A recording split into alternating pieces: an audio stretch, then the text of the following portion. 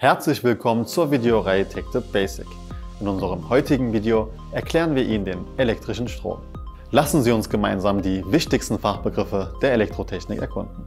Der elektrische Strom ist einer der grundlegenden physikalischen Größen in der Elektrotechnik und einer der wichtigsten Bestandteile unseres technologischen Fortschrittes.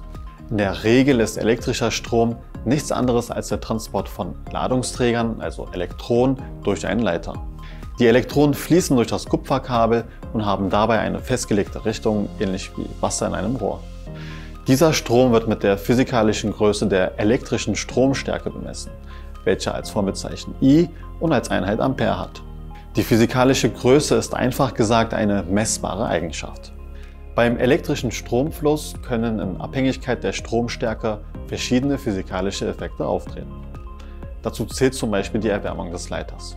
Das kennen wir zum Beispiel von Heizstäben oder Glühlampen. Sobald sich Ladungen bewegen, entsteht ein Magnetfeld um den Stromfluss. Das passiert zum Beispiel bei Elektromotoren oder Elektromagneten. Der elektrische Strom spielt also eine unverzichtbare Rolle in unserer Welt. Ein solides Grundverständnis ist somit der Schlüssel für einen sicheren Umgang. Vielen Dank, dass Sie unser Erklärvideo zum elektrischen Strom angeschaut haben. Wir hoffen, dieses Video hat Ihnen bei Ihren Fragen geholfen.